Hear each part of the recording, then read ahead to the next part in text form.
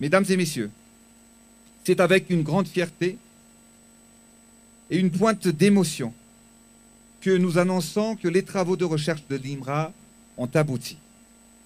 Ils ont abouti à une élaboration du Covid Organics ou le Tambavi CVO.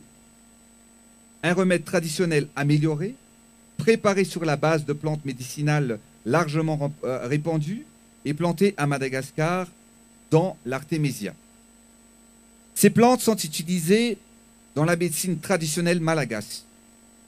Tous les essais et tests de ce premier remède ont été menés et son efficacité dans la réduction et l'élimination des symptômes a été prouvée pour le traitement des patients atteints du Covid-19 à Madagascar.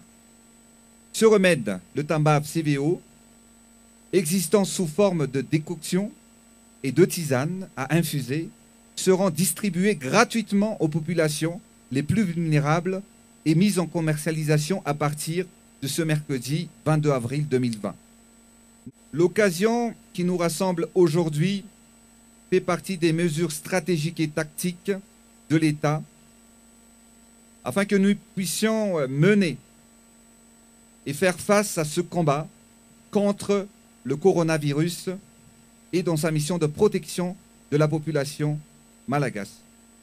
Il s'agit surtout d'un événement qui restera dans nos mémoires.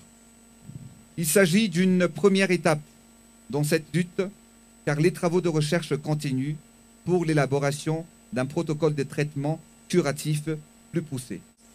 L'efficacité est notre mot d'ordre et sauver la population malagasse est notre obligation et un impératif pour tous. Croyant en nous, en notre résilience, en notre capacité à faire face et aller de l'avant, à notre intelligence, croyant en Madagascar, ayant foi en nous et en notre nation.